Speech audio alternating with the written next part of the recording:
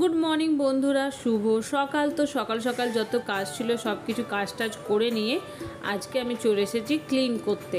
আজকে আমি আমার ফ্লোরগুলো ডিপ ক্লিন করব আর এত সুন্দর করে ক্লিন করব, তোমরা দেখতেই পাচ্ছ। তার কারণ হচ্ছে লাঠি দিয়ে ঘরটা মুছলে কী হয় জানো তো? মানে যত নোংরা থেকেই যায়, আর হাত দিয়ে ঘরটা মুছলে খুব সুন্দর হয়। তো চলো, এই যে প্রথমে আমি আমার বেডরুমটা শুরু করে দিয়েছি। তো এখন কথা কম বলে ঝটপট করে আমি এখন রুমগুলোকে ফটফট করে ক্লিন করে নিই।